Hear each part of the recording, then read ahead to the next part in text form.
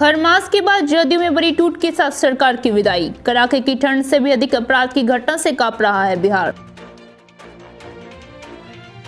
किसानों के समर्थन में राजद और तेज करेगा आंदोलन। सर्किट हाउस में रविवार को राजद कार्यकर्ताओं के साथ बिहार सरकार के पूर्व मंत्री औरंगाबाद के विधायक डॉक्टर सुरेश पासवान ने कहा कि बिहार की राजनीति में आने वाले समय में सत्ताधारी दल जदयू में बहुत बड़ा भूचाल आने वाला है। मकर संक्रांति के बाद जदयू में बहुत बड़ी टूट होने वाली है। जदयू के 20 से अधिक विधायक सूबे में परिवर्तन के लिए तैयार हैं। ये बातें बिहार सरकार के पूर्व मंत्री सह औरंगाबाद के वर्तमान विधायक डॉक्टर सुरेश पासवान ने कही है। रविवार को वह राजद के सांगठनिक बैठक में शामिल होने आए थे। उन्होंने कहा कि नीतीश कुमार के नेतृत्व में बिहार में महाजंगल राज कायम हो गया है। उन्होंने बताया कि अपराधियों का मनोबल चरम पर है और सरकार अपराधियों के सामने बेबस है। राजद के विधायक ने कहा कि कड़ाके की ठंड से भी अधिक बिहार अपराध से काँप रहा है। विधायक ने कहा कि नीतीश कुमार बीजेपी की कठपुतली बनकर रह गए हैं। उन्होंने केंद्र सरकार पर निशाना साधते हुए कहा कि मोदी सरकार देश में कंपनी राज लाना चाहती है।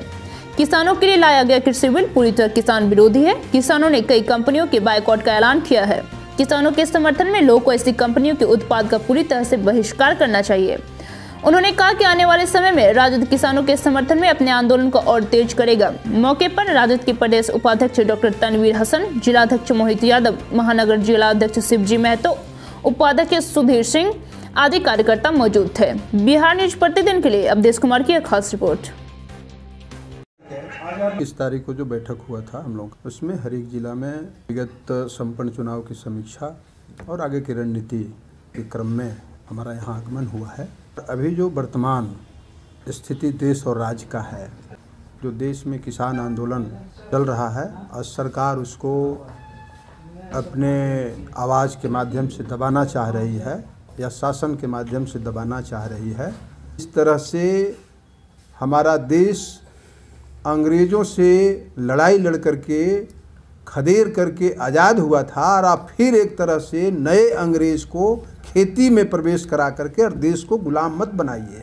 यह देश गांधी का देश है, लोहिया का देश है, जयप्रकाश का देश है, चौधरी चरण सिंह जी का देश है। इस देश के किसानों को निस्तनाबूद एक तरह से करना चाहते हैं, गुलाम बनाना चाहते हैं। इसलिए किसी भी हालत में ये तीनों कृषि कानून देश के हित में, खेती के हित में, किसानी के हित में नहीं है। इन तीनों कानून को वापस करिए और जनमत संग्रह करवाइए पूरे देश में।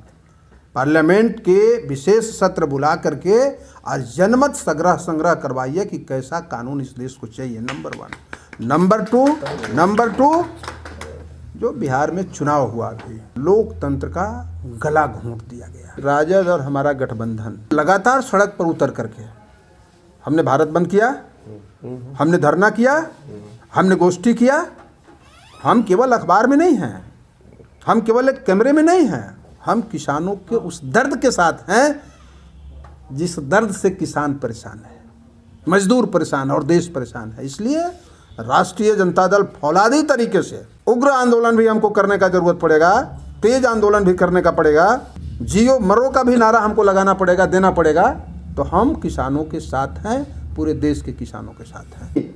किसानों के आंदोलन के डर से नरेंद्र मोदी को हिम्मत नहीं हुआ कि हम पार्लियामेंट का शीतकालीन सेशन बुलाएँ। इतिहास में यह पहली बार होगा कि पार्लियामेंट का शीतकालीन सेशन नहीं किया उनके उत्पाद का बहिष्कार करना चाहिए।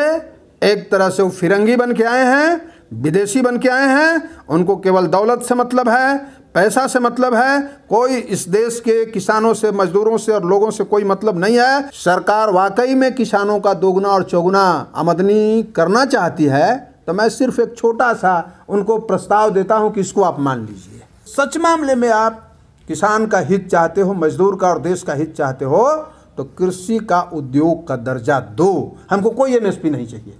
हटाओ एमएसपी। हम रेट तय करेंगे। इस कलम का रेट किसने तय किया? जो कलम बनाया? तो हम रोटी खिलाते हैं, चावल खिलाते हैं तो चावल हम पैदा करते हैं और रेट आप तय करिएगा। नहीं, हम तय करें। आपके अंदर एक पैसा भी किसानों के प्रति दर्द है तो आप कृषि का उद्योग का दर्जा दे दो। लोकतंत्र को बचाने के लिए, किसानों के हित में, मजदूरों के हित में, गरीबों के हित में, बिहार के हित में। तो हम तो सदैव तैयार रहते हैं, लेकिन जब कमांडर इन चीफ, हमारे कमांडर इन चीफ हैं तेजस्वी जी। तो कमांडर इन चीफ का जब इशारा हो गया कि आपको तैयार रहना है हमारे कार्यकर्ता। इसीलिए तो हम लोग देख रहे हैं, साल के अंतिम में यहाँ पहुँच गए हैं। सब जगह लोग पहुँचे हुए हैं लोग। इसलिए सब जगह हम लोग जो है तैयारी में हैं, चाहे चुनाव में जाना हो, चाहे सरकार बनाना हो। और तीसरी बात है 2021 का भविष्यवाणी बेकार नहीं जाएगा। नीतीश कुमार जी बिहार के बाहर हो चुके हैं, थक गए हैं, बोल नहीं रहे हैं। मुँह उनका बंद हो गया है। इसलिए आप मुक्त कर दीजिए बिहार को। अरुणाचल में आपका गठबंधन का साथी भाजपा इंजेक्शन लगा करके आपको देह सुना कर दिया। आपको आवाज़ें नहीं दिखाई नहीं दे रहा है।